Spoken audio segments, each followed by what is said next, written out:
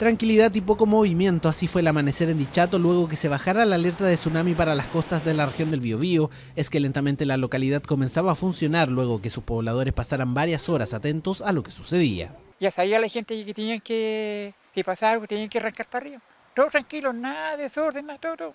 Todos arrancaron. Todo, todo, todos los centros, todo, era un negocio cerrado. No, no, no se arrancó todo. Todo, todo. Y como le digo, la gente andamos para allá y para acá. Por el temor que los allá. Estas imágenes aún están presentes en Dichato, por lo mismo, frente a una emergencia renacen en la mente de sus habitantes, incluso algunos fueron precavidos y amarraron sus botes. Sí, prácticamente toda la gente se saca, toda la gente, sí.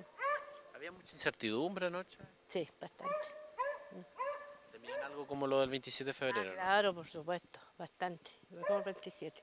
Todavía está como ese recuerdo latente. Sí. 4.000 personas se evacuaron en Dichato, cerca de 25.000 lo hicieron en Tomé. Todos buscaron estar sobre la cota 30 para así evitar complicaciones. Todo se dio con normalidad, aunque hubo un detenido. Una vez establecida esta alarma preventiva de tsunami, eh, todas las zonas inundables debían ser evacuadas. Por lo tanto, eh, Carabineros se procedió a cerrar el paso de la cuesta Caracoles. La persona detenida fue aquí en el sector centro de Tomé, fue una persona que... Eh, aprovechando cierto la soledad de la madrugada, saltó un cerco, sin embargo, en una rápida y efectiva acción de carabineros fue detenido. Y... Tranquilidad en estas localidades costeras, minutos de calma luego de la incertidumbre que se vivió en la zona por no saber qué efectos traería el terremoto nortino.